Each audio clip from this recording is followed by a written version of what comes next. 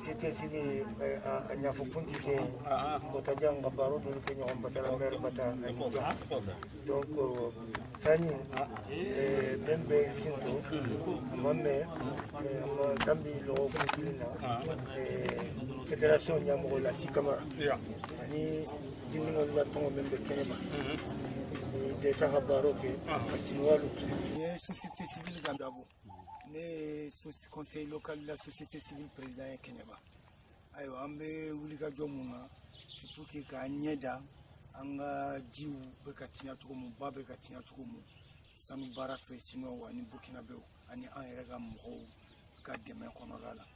Donc fɛn mun dɔn wagati dɔ sera an kɔni bɛ n'a lajɛ pour que ka jamanadenw hakili a yiraw la. Mun bɛ ka kɛ terrain kan. N'a yera tuma min an kan ka fɛɛrɛ minnu tigɛ pour que k'a kɛlɛ an bɛ se k'o tigɛ kun y'o de ye an bɛ société civile ka mission de kan pour que ka n'a ɲɛ da fɛnw kan ka seereya bɔ a la an bɛna visiter terrain daminɛ nin ye siniwaw ka kanuma ye ba de filɛ nin ye ɲɛfɛ ayiwa nin bɛ se ka kɛ cogo di jamana kɔnɔ an sigilen ka to tan n'i y'a mɛn adamadenya i b'a dɔn k'a fɔ ko adamadenya yɛrɛ fɛn bɛɛ ye ji de tubabu ko ko l'eau c'est la vie bon. Sanu sanu ka sanuya mana kɛ cogo o cogo sanu bɛ ko ni ji de sanu ye masiri de mɛ ji de ye vie.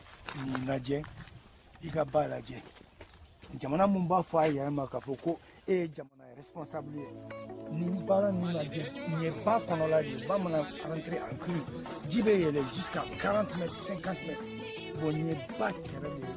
Ye nin bɛ se ka kɛ jamana jumɛn kan a bɛ fɔ nin de ma ko crime environnemental an sigilen ɲɔgɔn ka nin lajɛ k'a fɔ u bɛ ka wari di duguw ma ka forage sen u ka jeunes ma ka u ka bɛ ka wari di u bɛ yiriw tigɛ cogo min u bɛ ji la nɔgɔ o cogo kelen na an sigilen don k'a lajɛ k'u bɛ k'an ka jamana fitiiniw bɛ mun kɛ o de ye société civile ka wulikajɔ ye nin baara in a man nɔgɔ mɛ n hakili la jamana in a kanu bɛ mɔgɔ mɔgɔ la o bɛ fara an kan ka baara kɛ an tɛ policier an tɛ gendarme ye mɛ jamana kɔnɔ bɛɛ ni jɔyɔrɔ dɔn autorité minnu kan ka répression kɛ u kan société civile ka baara ye ka interpellation de kɛ ka interpellation kɛ mettre les, les, les responsables devant leurs responsabilités.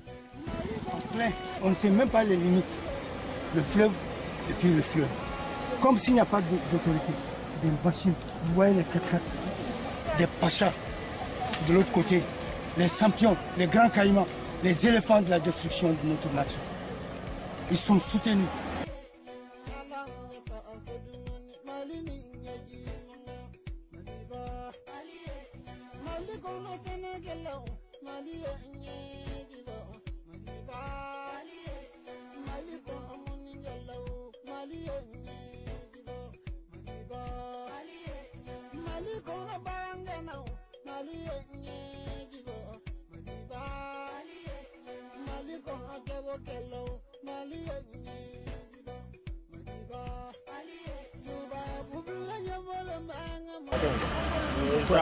Wala kura kana kai ma ma son goje moto do goto ah ta ce ale ba.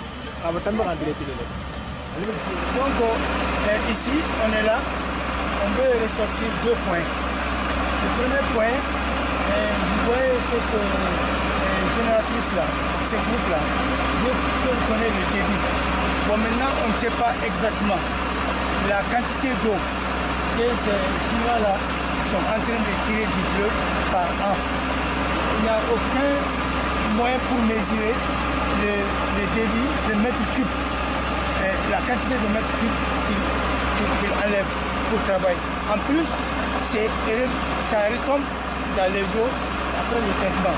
Mais vous voyez derrière nous, regarde autour de toi, et tous ces montagnes, toutes ces montagnes de réserve là, c'est au, au milieu du fleuve. Vous voyez au milieu du fleuve, les, les là, les temps là.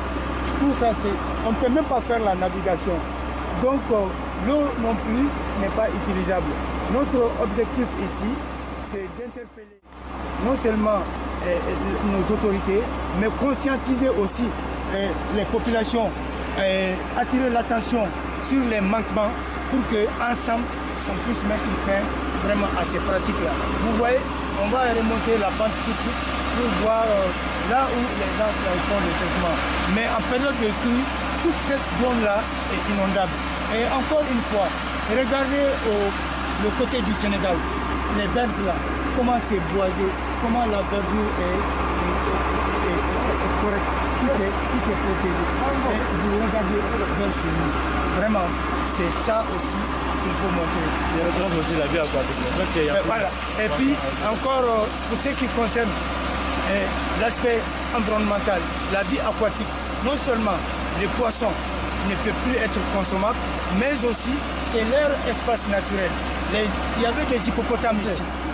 Les animaux aquatiques là, le bruit permanent, hein, le bruit permanent empêche quand même leur cycle, perturbe leur cycle de reproduction. Parce qu'ils doivent se reproduire dans des eaux paisibles et limpides. Mais maintenant, vous voyez, vous pouvez traverser ça à la nage, vous ne rencontrez ni caïman, rien, rien, la vie aquatique a déserté.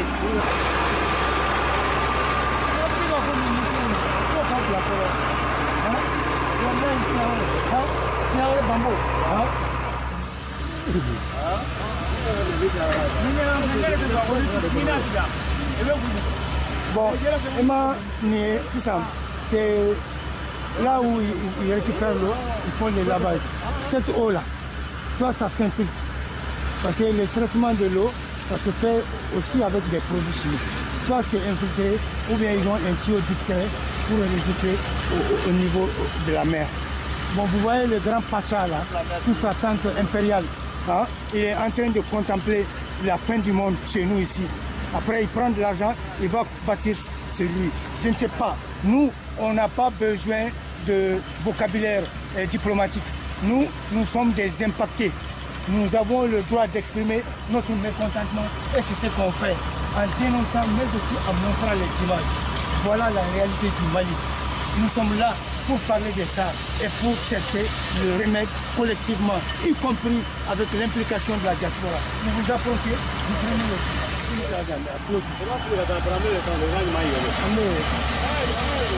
il y a- y a une machine. Vous voyez le concasseur Bon, et a dit. Il y a une. Ça, c'est le si. Bon, il dit une base,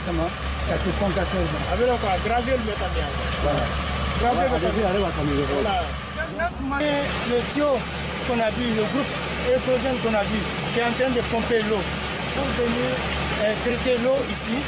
hein. Maintenant, ça monte, on récupère cette eau euh, pour faire le réserve ici, à travers cette autre machine-là.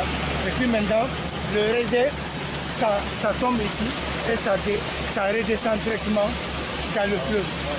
Dans le fleuve, directement.